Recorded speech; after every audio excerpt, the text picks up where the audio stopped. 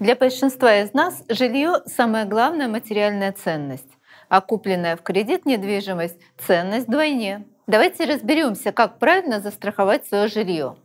Стоит ли раскошелиться на титульное страхование или достаточно имущественного полиса? Сразу оговоримся, что речь пойдет не об ипотечном страховании заемщика, которое в большинстве случаев обязательно при оформлении кредита на покупку недвижимости и страхует самого заемщика.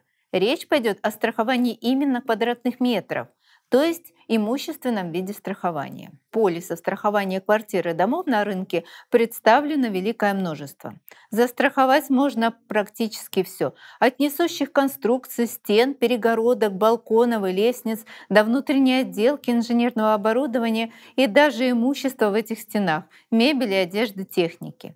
Исключение только находящиеся в квартире наличные деньги, драгоценные металлы, камни, лекарства, продукты питания, растения, животные. Полный перечень того, что можно застраховать, прописан в правилах страхования имущества на сайтах страховых компаний. Там же можно найти информацию о том, от каких рисков можно застраховаться. Имущественные полисы защищают владельцев жилья от наиболее часто возникающих рисков. По статистике это заливы, пожары, противоправные действия третьих лиц, то есть кражи или вандализм. Застраховать можно и гражданскую ответственность собственника. В этом случае, если застрахованной квартире прорвало трубу, то ремонт соседям снизу оплатит страховая компания в пределах лимита по полису. Это базовый набор рисков, так называемых коробочных типовых полисов страхования имущества.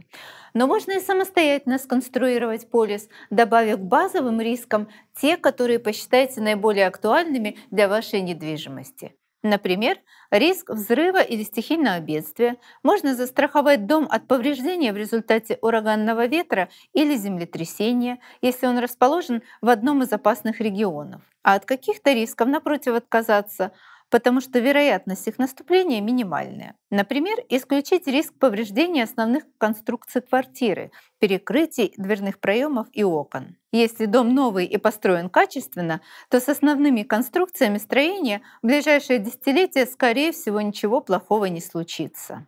В правилах страхования конкретной страховой компании можно найти и полный перечень исключений страховых случаев.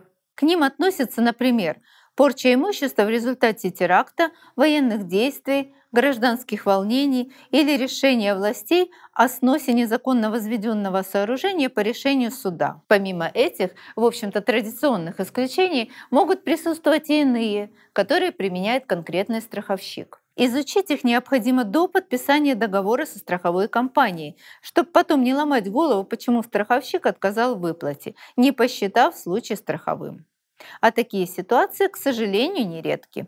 И даже юристы потом разводят руками, ведь страхователь добровольно согласился подписать договор на таких условиях. Полис имущественного страхования недвижимости банки обязательно хотят видеть при оформлении ипотеки. Ведь такой полис защищает кредитную покупку от повреждения или уничтожения. Кроме этого, иногда банки могут предложить еще один вид страховки – полис титульного страхования. Его отличие в том, что он защищает не сами квадратные метры квартиры или дома, а права собственности на них. То есть покрывает риск утраты недвижимого имущества по причинам, не зависящим от собственника. Например, если суд признает недействительной сделку купли-продажи жилья. Увы, нередкие истории, когда продажа квартиры нарушила права несовершеннолетних наследников, недееспособных родственников или в документы вкралась ошибка, а то и сознательно реализована мошенническая схема. Если сделку признали недействительной, теоретически покупатель и продавец должны вернуть друг другу полученное, то есть деньги и недвижимость. Но существует риск остаться и без денег, и без недвижимости. В этом случае наличие страховки титула позволит не остаться у разбитого корыта, хотя и не со стопроцентной гарантией. Перечень исключений из страховых случаев по таким полисам титульного страхования весьма широк. Например, если событие, приведшее к страховому случаю, возникло до подписания контракта, и страховщик не обязан выплачивать компенсацию.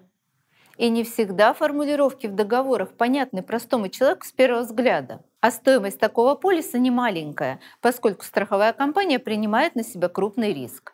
Цена может быть как фиксированной, например, 0,5% стоимости квартиры за один год страхования, так и рассчитанной по плавающей формуле с индивидуальным подходом с учетом периода страхования, стоимости жилья и степени риска. Страховая выплата, как правило, устанавливается в размере рыночной стоимости недвижимости, но не превышает фактических затрат на ее покупку. А страховать недвижимость придется минимум 3 года. В большинстве случаев именно такой срок исковой давности. Хотя если с иском обратиться не сторона договора, а, например, обделенные наследники или несовершеннолетние, то срок может достигать и 10 лет.